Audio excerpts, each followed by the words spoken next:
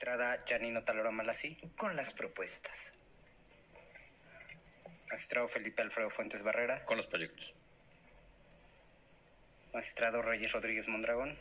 Presentaré un voto particular en contra en el recurso de apelación 102, un voto concurrente en el juicio de la ciudadanía 661 y a favor del recurso de apelación 211.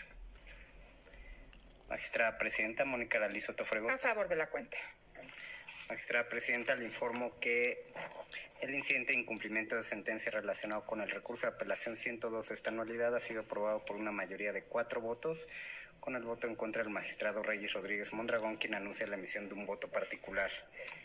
Los restantes proyectos de la cuenta se aproban por unanimidad de votos, con la precisión que en el juicio de la ciudadanía 661 de esta anualidad y su acumulado, el magistrado Reyes Rodríguez Mondragón anuncia la emisión de un voto concurrente. Gracias, secretario.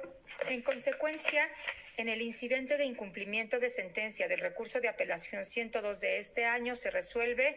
Primero, es parcialmente fundado el incidente promovido por Morena con relación al incumplimiento de la resolución emitida por esta sala superior en el recurso de apelación 102 de este año. Segundo, se conmina a las personas integrantes del Consejo General del Instituto Nacional en los términos expuestos.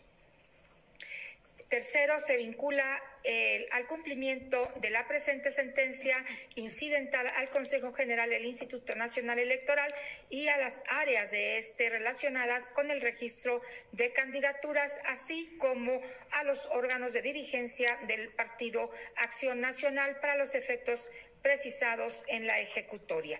En el juicio de la ciudadanía 661 y recurso de apelación 214, ambos de este año se resuelve, primero se acumulan los medios de impugnación. Segundo, se confirma en lo que fue materia de impugnación el acuerdo controvertido. En el recurso de apelación 211 de este año se resuelve, único se desecha de plano la demanda.